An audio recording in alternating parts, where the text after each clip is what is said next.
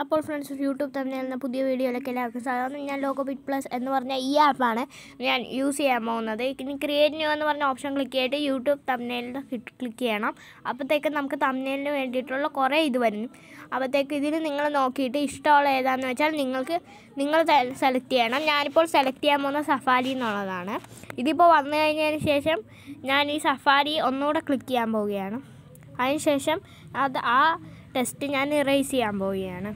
അത് ഞാൻ റിമൂവ് ചെയ്തു. ഇനി അടുത്തത് ആ പ്ലസ് ബട്ടൺ കണ്ടില്ലേ? ദേ ഇത്. അതിന് ശേഷം അവിടെ ക്ലിക്ക് ചെയ്തതിന് ശേഷം അവിടെ പിക്ചർ എന്ന് പറഞ്ഞ ഓപ്ഷൻ കൊടുത്തിട്ട് കസ്റ്റം ഇമേജ് പിക്കർ എടുക്കണം. കസ്റ്റം ഇമേജ് പിക്കറിൽ ഞാൻ ബാക്ക്ഗ്രൗണ്ട് ഇറേസ് ചെയ്ത കുറേ പിക്ചേഴ്സ് ഇവിടെ ഉണ്ട് ഞാനിപ്പോൾ ക്രിക്കറ്റ് കളിക്കുന്ന ഒരു പിക്ചറാണ് സെലക്ട് ചെയ്തേക്കുന്നത്. ഇത് ഞാനിവിടെ സൂം ചെയ്ത് ഇവിടെ വെക്കാൻ പോവുകയാണ്.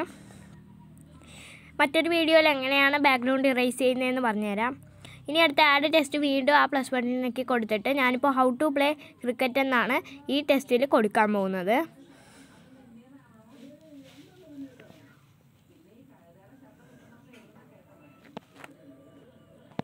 ഇത് കൊടുത്തതിന് ശേഷം ഞാൻ ആഡ് ബട്ടൺ നെക്കിയിട്ടുണ്ട്.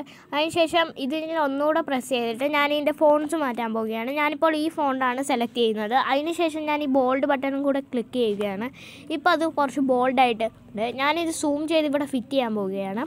ആ ഇത് ഞാനിപ്പോൾ ഇവിടെ ഫിറ്റ് ചെയ്തിട്ടുണ്ട്.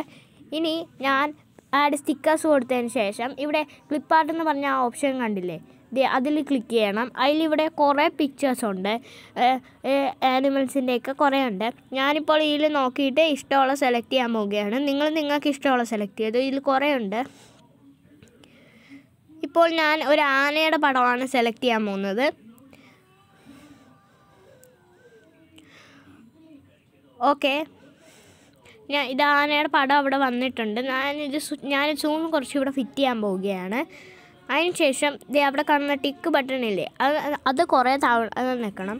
അത് അഞ്ച് തവണ നിൽക്കി കഴിയുമ്പോഴത്തേക്കും സേവ് എന്ന് പറഞ്ഞ ഒരു ഇത് കാണും. എന്നിട്ട് സേവ് ഡ്രാഫ്റ്റ് കൊടുത്തിട്ട് നിങ്ങൾക്ക് ഇഷ്ടമുള്ള പേര് അതിനിടാം. താങ്ക്